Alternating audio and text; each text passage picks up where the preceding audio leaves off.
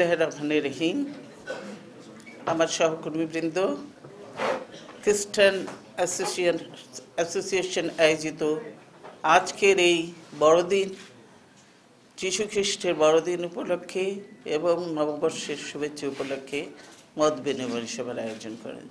আমি সেজন্য তাদেরকে আন্তরিকভাবে ধন্যবাদ জানাব এবং আমি বলব যে আজকে এই যীশু খ্রিস্টের জন্মদিন উপলক্ষে আমি শুধু খ্রিস্টান সম্প্রদায় বাংলাদেশ নয়, সারা বিশ্বের খ্রিস্টান সম্প্রদায়কে এবং বাংলাদেশের সকল জেলা, সকল খ্রিস্টান সম্প্রদায়কে বাংলাদেশ জাতীয়তাবাদী দলের আমার নিজের পক্ষ থেকে আমরা তাদেরকে আশীর্বাদ জানাচ্ছি, তাদেরকে শুভেচ্ছা জানাচ্ছি, তাদেরকে অভিনন্দন জানাচ্ছি এবং তাদের কল্যাণ কামনা করছি।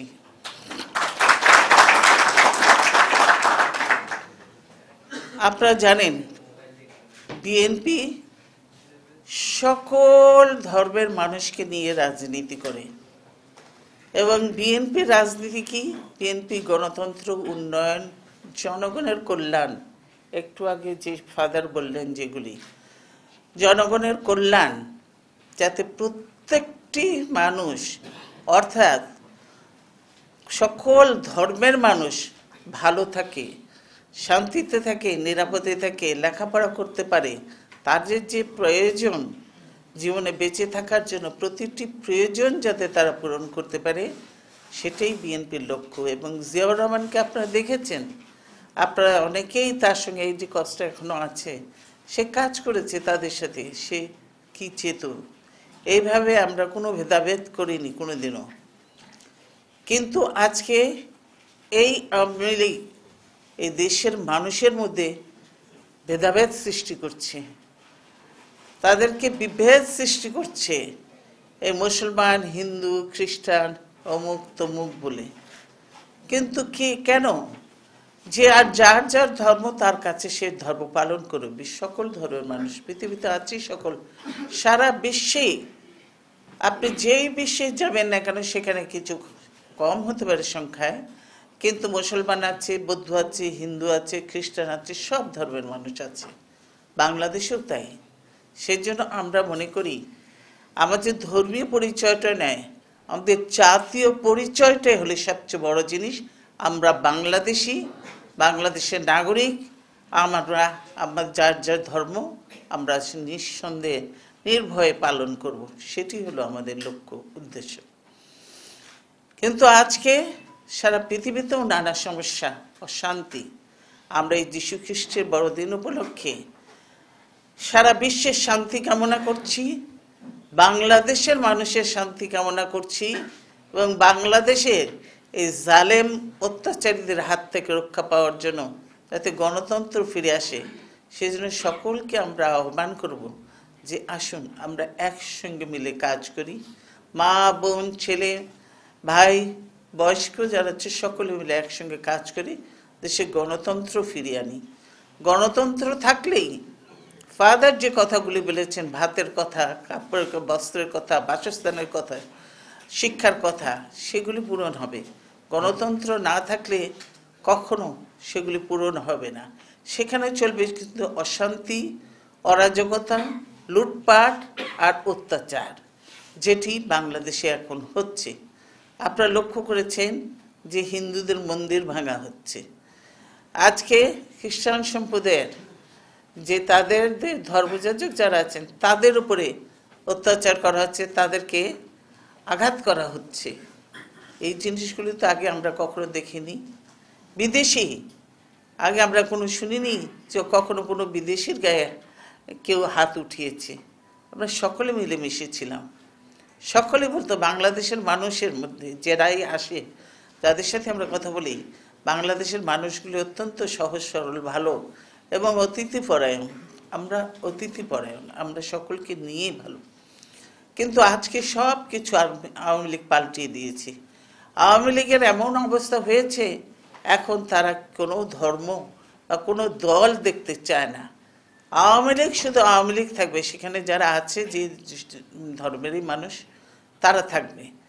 আর আওয়ামী লীগ সারা জীবন ক্ষমতায় থাকবে। সেই জন্য আপনার সংবিধান সহ জানেন সব কিছু পরিবর্তন করে এমন একটা পরিস্থিতি বা অবস্থার সৃষ্টি করেছে যে যেন কোনো প্রতিষ্ঠান বাংলাদেশে এখন কিন্তু নিরপেক্ষ নেই। এই যে যেটা আপনি বলেন যে মিথ্যে মামলা আমাদের দিচ্ছে আমরা জানি। আপনাদের অনেকের নামে হয়তো দিতে পারে। যে কোনো সময়, যে কোনো যে ঘটনা ঘটলে। কিন্তু সেই মিথ্যে মামলার বিচার আপনি কোথায় চাইবেন? চাইবেন তো কোর্টে। এই কোর্ট আজকে নিরপেক্ষ নয়, বিচার বিভাগ আজকে নিরপেক্ষ নয়। বিচার বিভাগে আজকে ন্যায় বিচার নেই। কাজেই সেখানে আমরা গেলে কোনো বিচার পাই না। আওয়ামী লীগ গেলে, আওয়ামী লীগ গেলে, খুন করে গেল তারা সেখানে মুক্তি পায়, জামিন পায় তারা খুনের আসামি হচ্ছে জামিন পায়। কিন্তু আমাদের সাধারণ যে বলুন মহাসচিব গয়েশ্বর এই যে তাদের হলো সেকেন্ড হোম বলে দিয়েছে যে সেই কারাগার। বিএনপিকে এরকম বিএনপির সমস্ত লোককে এটাই করেছে। দেখলেন তো আজকে আওয়ামী লীগের জলে মালিক গয়েশ্বর যেটা বলল, আমি দেখিনি এখনও কাগজে, কিন্তু সেটা বলছে যে কি, কেউ থাকতে পারবে না। তাহলে কিসের দল এটা? কীরকম দল? তার মানে আওয়ামী লীগ বলে কোনো দল এখন নেই। আজকে চলছে স্বেচ্ছাচারিতা।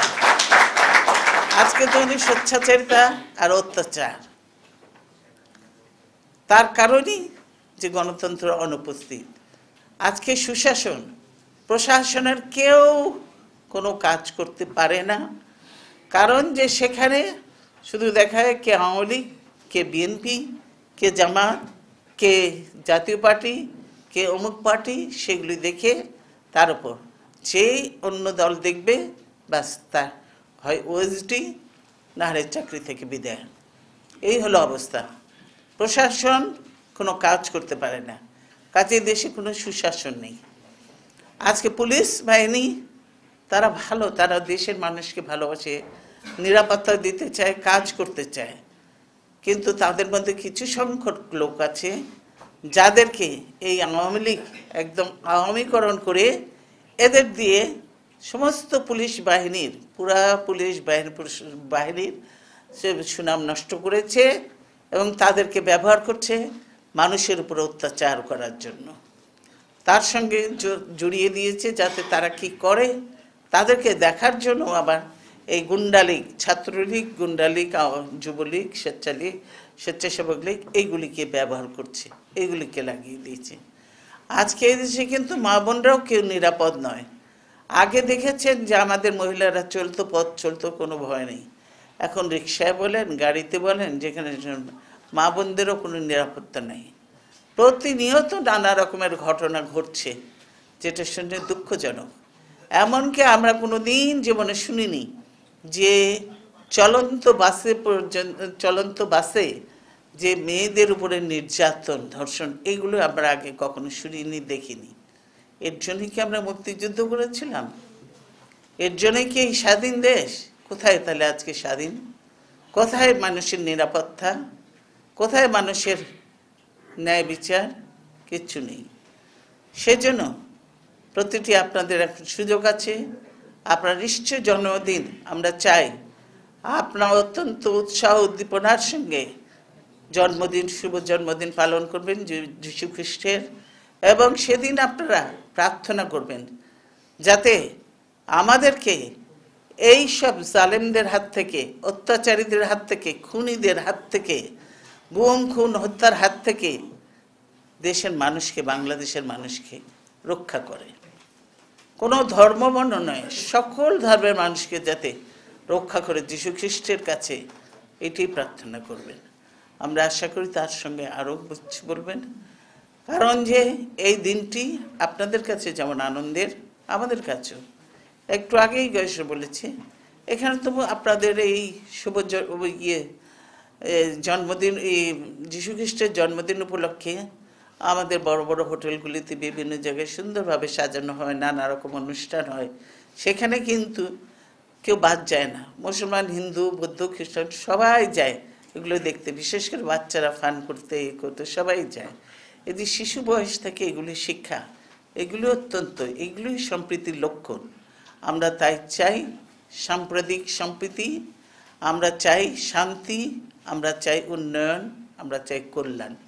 আমরা চাই না যুদ্ধ, আমরা চাই না অশান্তি। আমরা কেউ এই যে, আমি তো মনে করি অলি মালিককে তখনই যখন এসব বলেছে, এই অলি মালিককে পুলিশের ধরে নিয়ে যাওয়া উচিত ছিল, অ্যারেস্ট করা উচিত ছিল। তারপরে কি করতে না করতো সেটা? তারা তো এই কথা বলতে পারে না। এরকমভাবে তারা মানববন্ধন করবে আর আমাদের ছেলেপেলাদেরকে রাস্তায় দাঁড়াতে পর্যন্ত দেয় না, একটা মিছিল পর্যন্ত ঠিকভাবে করতে দেয় না। আর তারা বলে তো এই কথাটা কি এমনি বলেছে তারা? নিশ্চয় তাদের উপরের কোনো, উপরের নির্দেশেই তারা এই কথাগুলি বলেছে এবং অলি অলিবালিক এই প্রোগ্রামটা করেছে। তার মানে তারা দেশে অশান্তি ডেকে আনছে। এনেছে আরও অশান্তি সৃষ্টি করে। তারপরে তারা দেশে কি ষড়যন্ত্র করতে চায় আমরা জানি না। কাজে দেশ আজ মহা কঠিন সংকটে, ষড়যন্ত্রের মধ্যে এবং এই আওয়ামী ষড়যন্ত্রের হাত থেকে দেশকে বাঁচানোর জন্য আমাদের সকলকে, যার যার অবস্থান থেকে আমাদেরকে কাজ করতে হবে, আমাদেরকে আল্লাহর কাছে যেতে হবে। আপনারা যারা হিন্দু সম্প্রদায় আছেন, তারা তাদের ধর্মের যে ইয়ে আছে, গুরু আছে, তার কাছে চাইবেন, খ্রিস্টান সম্প্রদায় তার কাছে চাইবেন, বৌদ্ধ সম্প্রদায় বৌদ্ধের কাছে চাইবেন। আমরা মনে করি সকল ধর্মগুরুদের কাছ থেকে আজকে আমরা প্রার্থনা করব, যাতে দেশকে এবং পৃথিবীতে শান্তি এসে, এই অশান্তি দূর করে শান্তি আসে। আমরা মনে করি সেটাই। সেটা করলেই হয়তো আমরা ভালো থাকতে পারব। নাহলে আমাদের ছেলে মেয়েদের ভবিষ্যৎ নিরাপদ নয়। আপনারা যে ছোট ছোট বাচ্চা, এই যে ছোট্ট বাচ্চাটা, এই বাচ্চাটার জীবনে কিন্তু নিরাপদ হবে না। আপনি যখন এই বাচ্চাটাকে স্কুলে পাঠাবেন, আপনার সবসময় একটা টেনশন থাকবে, একটা চিন্তা থাকবে যে আমার ছেলেটা নিরাপদে ঘরে ফিরে আসবে তো? ঠিক মতো আসবে তো? এরকম আপনারা দেখেছেন। যে আওয়ামী লীগ আজকে, এরা আজকে হিংস্র হয়ে উঠেছে। এরা আজকে মানুষের মতো মানুষ আর নেই। এদের মধ্যে মনুষ্যত্ব বলে কিছু নাই। এরা এখন হিংস্র হয়ে এসেছে। এরা পশুর থেকে অদম হয়ে গেছে। সেজন্যই বলেছি এই আওয়ামী লীগের নেত্রী, আসলে যে কোর্ট থেকে যে রায়টা দেওয়া ছিল যে রং হেডেড আসলে যে পাগল মানুষকে দিয়ে কোনো দিন ইয়ে হয় না। তার অবস্থান গণভবনে হতে পারে না। তার অবস্থান হতে পারে পাবনার কি ওটা জায়গা? অবস্থান সেখানে হলে তিনি সুস্থ হয়ে আবার রাজনীতি করতে পারেন। কিন্তু এখন তিনি সম্পূর্ণ অসুস্থ এবং মানসিক দিক থেকে আরও বেশি অসুস্থ। মানসিক রোগী কখনো দেশ শাসন করতে পারে না। নাহলে আপনারা দেখেছেন, আমাদের সময় অনেক তারা নানা রকম ঝামেলা করেছে। একশো তিয়াত্তর দিন হরতাল করেছে। কত গাড়ি জ্বালিয়েছে কত গিয়ে ব্যাংক লুট করেছে। কত ব্যাংক চালিয়েছে। নানা রকম পোর্ট বন্ধ করে রেখেছে। চিটগং, ঢাকা রাস্তা সব বন্ধ করে রেখেছে। এগুলো তারা করে নেই, করেছে তারা। তারপরেও কিন্তু আমরা কখনো পুলিশ দিয়ে গুলি করে কোনো মানুষকে হত্যা করার কথা চিন্তা করিনি, ভাবিনি। কেন আমি, আমার দেশের মানুষকে তো আমি গুলি করে মারতে পারি না, নিজের দেশের মানুষকে। আমার দেশের ছেলে মেয়েদের তো আমরা গুম করে ফেলতে পারি না, আমরা সেটা করিনি। কিন্তু আজকে চলছে শুধু কথায় কথায়, কারও কথা বলার অধিকার নেই। আপনারাও কেউ বাইরে যে কোনো কথা বলতে পারবে না, টক শোতে যান, কেউ কথা বলতে পারবে না। এবং সেখানে যারা কথা বলে সত্যিকারে একটু তাদেরকে ধরে নিয়ে যাওয়া হচ্ছে। এই যে সাংবাদিক ভাইয়েরা পরিশ্রম করছে, দিন রাত কোথাও কিছু খবর পেলে ছুটে যায়, রাত নেই, দিন নেই, এদের কোনো সময় নেই, এরা কাজ করছে। কিন্তু এরা কি নিজেরা মনে করে নিজেরা নিরাপদ? নয়। এরা নিজেরা দেখেছে এই সাগরণীর ঘটনা। সাগরণীর ঘটনার পর থেকেই মানুষের মধ্যে একটা কি অবস্থার সৃষ্টি হয়েছে। বহু সাংবাদিক কিন্তু আজকে এই আওয়ামী লীগের আমলে ও সাংবাদিককে তারা হত্যা করেছে। সে শুধু সাংবাদিক হত্যা করে, সাগর রানীর যে রুনি হত্যার পরে যে তারা কথা দিয়েছিল, তাদের, তার ইয়েকে, খুনিকে তারা খুঁজে বের করবে, এখন পর্যন্ত সেই খুনির হদিস তারা দিতে পারে নাই। আমি মনে করি বা আমরা মনে করি সবাই যে তা হদিস তারা জানে, কিন্তু তারা বের করতে চায় না বা বলে না। বললে তো আবার নিজের মুখেই থুতুটা আসবে, সেই জন্য তারা এই জিনিসটা লুকিয়ে রেখেছে বলে না সাগরিনের হত্যাকারী। তারা খুব ভালো করে জানে, চেনে এবং তারা নিরাপদে তাদেরকে হয়তো দেশের বাইরেই পাঠিয়ে দিয়েছে। এই হলো অবস্থা। কাজে আজকে দেশকে বাঁচানোর জন্য প্রয়োজন, আমরা বলে আন্দোলন নয়। এই যে একটু আগে বলল, আমাদেরকে এই নির্বাচন দিয়ে এদেরকে ঘায়েল করতে হবে। আমাদের বিশ্বাস, আমরা গণতন্ত্রে বিশ্বাস করি, আমরা নির্বাচন। কোনো সময় এর আগে পৌরসভার নির্বাচন প্রতীক দিয়ে হয়নি। এবার ফার্স্ট টাইম প্রতীক দিয়ে হচ্ছে। তাই আপনাদেরকেও আহ্বান করব যে আপনার যার যার অবস্থানে যেখানে পৌরসভা আছে বা যেখানে ইলেকশন হচ্ছে, আপনারা আপনারা সকলে অন্তত প্রতীকটা চেনেন, ধানের শীষ। এই প্রতীকটাকে আপনারা সম্মান করে আপনারা এই করেন। আমরা বলেছি যে বিএনপি সরকারে আসলে এই দেশে সকল ধর্মের মানুষ শান্তিতে, আনন্দে এবং একসঙ্গে বসবাস করবে। কোনো ভেদাভেদ থাকবে না এবং তাদের চাকরি ক্ষেত্রেও কোনো রকম সমস্যা হবে না।